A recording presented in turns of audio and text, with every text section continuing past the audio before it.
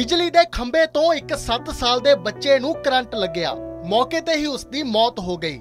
ਤਾਰਾਂ ਦੇ ਜੋੜ ਨੰਗੇ ਸੀ, ਜਿਸ ਕਾਰਨ ਇਸ ਬੱਚੇ ਦੀ ਮੌਤ ਹੋਈ ਹੈ। ਦੱਸਦੀ ਕਿ ਰਾਤ ਦੇ ਹਨੇਰੇ ਨੂੰ ਦੂਰ ਕਰਨ ਦੇ ਲਈ ਖੰਭਿਆਂ ਤੇ ਲਾਈਟਾਂ ਲੱਗੀਆਂ ਹੋਈਆਂ ਸੀ। ਇਹ ਬੱਚੇ ਗਲੀ ਦੇ ਵਿੱਚ ਖੇਡਦੇ ਸੀ। ਇੱਕ ਮਾਸੂਮ ਬੱਚੇ ਨੇ ਖੰਭੇ ਨੂੰ ਹੱਥ ਲਾ ਲਿਆ। ਤਾਰਾਂ ਦੇ ਜੋੜ ਨੰਗੇ ਸੀ, ਜਿਸ ਕਰਕੇ ਕਰੰਟ ਨੇ ਬੱਚੇ ਨੂੰ ਆਪਣੇ ਵੱਲ ਖਿੱਚ ਲਿਆ। ਮੌਕੇ ਤੇ ਹੀ ਉਸ ਦੀ ਦਰਦਨਾਕ ਮੌਤ ਹੋ ਗਈ। ਬੇਹੱਦ ਗਰੀਬ ਪਰਿਵਾਰ ਦਾ ਇਹ ਬੱਚਾ ਸੀ, ਤਾਹਾ ਮਾਰ-ਮਾਰ ਕੇ ਸਾਰਾ ਪਰਿਵਾਰ ਰੋ ਰਿਹਾ। ਮਾਨਸਾ ਦੀਆਂ ਇਹ ਤਸਵੀਰਾਂ ਨੇ।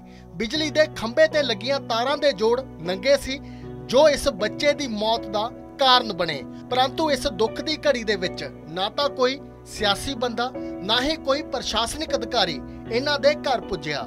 ਤਾਂ ਹੁਣ ਪੀੜਤ ਪਰਿਵਾਰ ਦੇ ਵੱਲੋਂ ਮੁਆਵਜ਼ੇ ਦੀ ਮੰਗ ਕੀਤੀ ਗਈ ਹੈ ਔਰ ਨਗਰ ਕੌਂਸਲ ਦੀ ਇੱਥੇ ਵੱਡੀ ਲਾਪਰਵਾਹੀ ਸਾਹਮਣੇ ਆਈ ਹੈ, ਕਿਉਂਕਿ ਤਾਰਾਂ ਦੇ ਜੋੜ ਨੰਗੇ ਸੀ, ਉਹਨਾਂ ਨੂੰ ਸਹੀ ਕਰਨਾ ਨਗਰ ਕੌਂਸਲ ਦੀ ਜ਼ਿੰਮੇਵਾਰੀ ਸੀ ਔਰ ਬੱਚੇ ਰੋਜ਼ਾਨਾ ਦੀ ਤਰ੍ਹਾਂ ਗਲੀ ਦੇ ਵਿੱਚ ਖੇਡਦੇ ਨੇ, ਖੇਡਦੇ ਖੇਡਦੇ ਇੱਕ 7 ਸਾਲ ਦੇ ਮਾਸੂਮ ਦੀ ਮੌਤ ਹੋ ਗਈ, ਕਿਉਂਕਿ ਉਹ ਖੰਬੇ ਦੇ ਨਾਲ ਜਾ ਕੇ ਖੜਾ ਹੋ ਗਿਆ ਖੰਬੇ ਦੇ ਨਾਲ ਉਸ ਦਾ ਹੱਥ ਲੱਗ ਪਿਆ ਥਾਈ ਹੀ ਉਸ ਦੀ ਜਾਨ ਨਿਕਲ ਗਈ।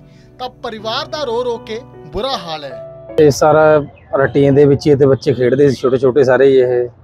ਤੇ ਅਚਾਨਕ ਪਤਾ ਨਹੀਂ ਕੀ ਹੋਇਆ ਕੱਲ ਹੈ ਤਾਂ ਸਾਰੀ ਮਿਊਨਿਸਪੈਲਿਟੀ ਕਮੇਟੀ ਦੀ ਗਲਤੀ ਹੈ, ਦੇਖੋ ਪ੍ਰੋਪਰ ਸਾਰੇ ਜੋੜਨ ਅੱਗੇ ਪਏ ਨੇ ਹੁਣ ਵੀ।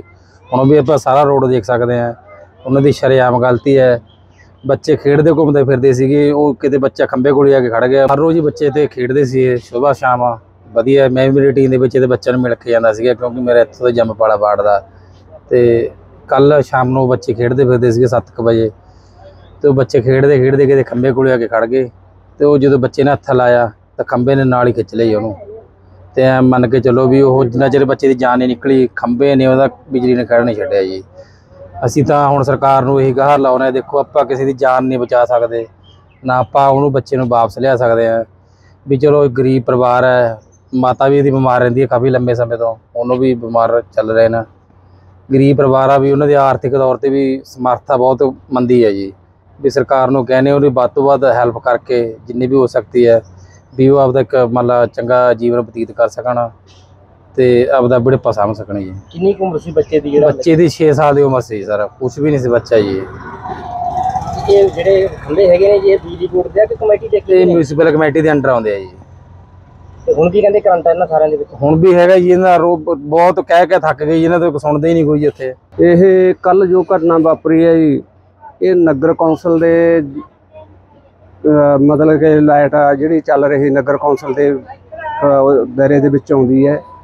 ਕਮੇਟੀ ਦੇ ਖੰਭੇ ਨੇ ਇਹ ਨਗਰ ਕੌਂਸਲ ਦੇ। ਇਹਨਾਂ ਦੇ ਜਿੰਨੇ ਵੀ ਨੇ, ਖੰਭੇ ਲੱਗੇ ਹੋਏ ਸਾਰਿਆਂ ਦੇ ਢੱਕਣ ਖੁੱਲੇ ਆ, ਜੋੜ ਨੰਗੇ ਆ। ਕੱਲ ਬੱਚੇ ਕਿਤੇ ਖੇਡਦੇ ਖੇਡਦੇ ਖੰਭੇ ਦੇ ਕੋਲ ਚਲੇ ਗਏ ਤੇ ਉਹ ਖੰਭੇ ਦੇ ਨਾਲ ਜਦੋਂ ਹੱਥ ਕਿਤੇ ਲੱਗ ਗਿਆ, ਉਹ ਖੰਭੇ ਨੇ ਬੱਚਾ ਖਿੱਚ ਲਿਆ। ਜੀ। ਜਿੰਨਾ ਚਿਰ ਮਤਲਬ ਉਹਦੀ ਮੌਤ ਨਹੀਂ ਹੋਈ ਉਹਨਾਂ ਚਿਰ ਬੱਚੇ ਨੂੰ ਉਹਨੇ ਲਾਈਟ ਨੇ ਨਹੀਂ ਛੱਡਿਆ। ਬਾਕੀ ਰਹਿ ਗਈ ਗੱਲ ਜਿਵੇਂ ਕਿ ਸਰਕਾਰਾਂ ਦਾਅਵੇ ਕਰਦੀਆਂ ਵੀ ਅਸੀਂ ਗਰੀਬ ਪਰਿਵਾਰਾਂ ਨੂੰ ਅੱਗੇ ਵੱਧ ਕੇ ਮਤਲਬ ਕਿ ਸਹਾਰਾ ਲਾਉਨੇ ਆ ਵੀ ਜਿਵੇਂ ਕਿ ਇੱਕ ਸ਼ੁਭ ਕਰਮ ਸੀ ਸੀਗਾ, ਉਹਦਾ ਸਰਕਾਰ ਨਾਲ ਹੀ ਮਤਲਬ ਟੱਕਰ ਸੀ। ਸਰਕਾਰ ਨਾਲ ਲੜਾਈ ਲੜਦੇ ਹੋਇਆ ਉਹ ਮ- ਮਰ ਗਿਆ, ਉਹਨਾਂ ਨੂੰ 1 ਕਰੋੜ ਰੁਪਈਆ ਤਾਂ ਨਗਦ ਦਿੱਤਾ ਗਿਆ ਜੀ। ਇੱਕ ਪਰਿਵਾਰ ਨੂੰ ਨੌਕਰੀ ਦਿੱਤੀ ਗਈ।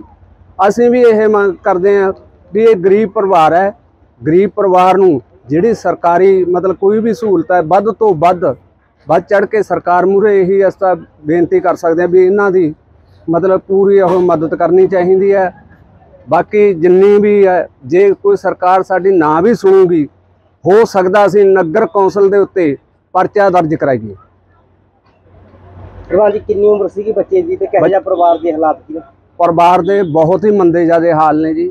ਜਿਹੜੀ ਬੱਚੇ ਦੀ ਮਾਂ ਹੈ ਉਹ ਕਾਫੀ ਸਮੇਂ ਤੋਂ ਮਤਲਬ ਕਿ ਬਿਮਾਰ ਹੈ ਤੇ ਦੋ ਹੀ ਬੱਚੇ ਨੇ ਇੱਕ ਕੁੜੀ ਤੇ ਇੱਕ ਮੁੰਡਾ। ਬੱਚੇ ਦੀ ਉਮਰ ਸੀਗੀ ਲਗਭਗ 7 ਸਾਲ ਤੇ 5-6 ਸਾਲਾਂ ਬਾਅਦ ਪਹਿਲਾ ਬੱਚਾ ਮਸਾਂ ਹੋਇਆ ਸੀ ਇਹ।